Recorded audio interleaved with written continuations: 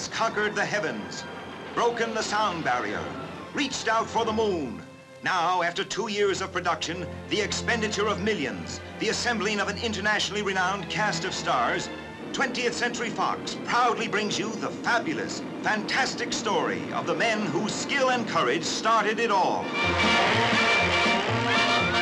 Those magnificent flying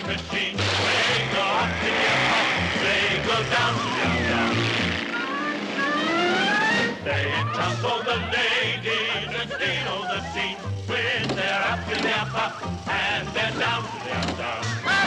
Up, up, flying around, looping the loop and defying the crown. Magnificent men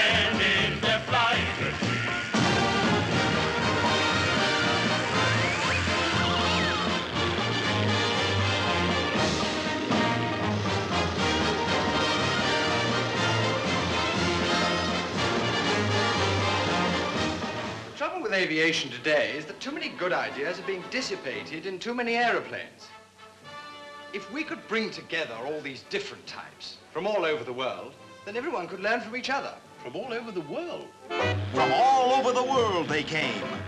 America, Italy, Germany, France, Japan, England, to compete in the first, the most fabulous, the most foolhardy air race of all time.